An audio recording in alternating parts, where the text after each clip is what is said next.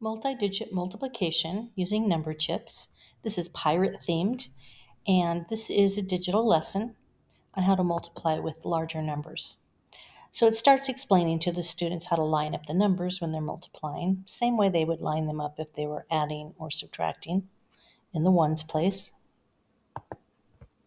And then if they're multiplying, you want to make sure that the number with the least number of digits is in the second row.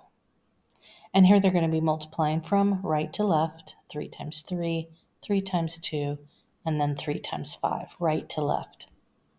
It shows how to do that on the next slide. So you want to explain to the students that 3 times 3 is 9, so their 9 is going to go right here.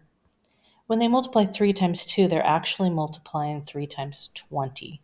And that's why that 6 would be in the tens place. And then 3 times 5, 15. So they'll start on slide 5 and they have these uh, movable number chips. So they're going to move them into the correct place to do their multiplication. So it starts out with some simpler problems and it gets more difficult as they go.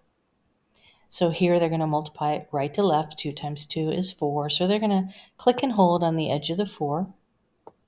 2 times 3 is 6. And 2 times 3 is 6 again. And every number that they need is on every slide. So if they get to the end of a problem and the numbers aren't working, that means they've made an error somewhere and they need to go back and check. So 3 times 3, whoops, that would be 9. 3 times 1 would be 3. And then 3 times 7, 21. So they should use every single number on every slide. Next slide, same thing. Now, if you'll notice for each problem, there is a letter and a yellow heart. And they're going to use that letter on the very last slide to solve a pirate themed riddle. So they're going to be matching that letter to their solution. Now here shows what to do if they have to carry a number. So for example, 4 times 7, they're going to they're going to put the 8 in the ones place. That 2, they're going to move it to the next column to the left above the 4. Then when they multiply 4 times 4, they get 16 and they add 2, which will give them 18. They're going to place the 8. The 1 is going to go ahead and move to the column to the left above the 6. So 4 times 6 is 24 plus 1 is 25. So each one of these gets a little bit more difficult. And on the next slide, they have the numbers that they carry are going to be these smaller circles, and they're going to go up here above the numbers.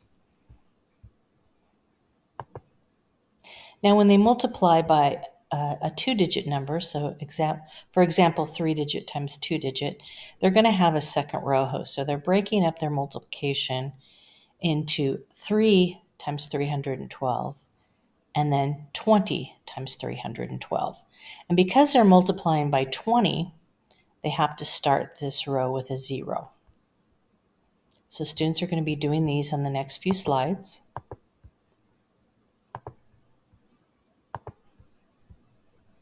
And then they get into multiplying a four digit by a three digit.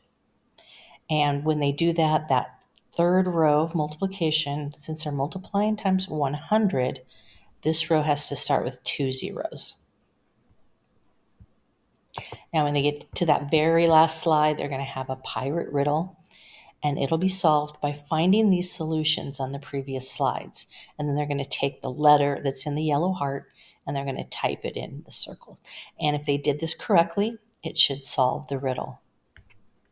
So this is the pirate themed multi-digit multiplication with number chips.